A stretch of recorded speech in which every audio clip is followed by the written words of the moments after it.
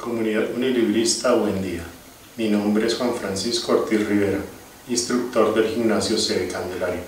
La actividad propuesta para hoy son ejercicios con materiales que podemos tener en casa.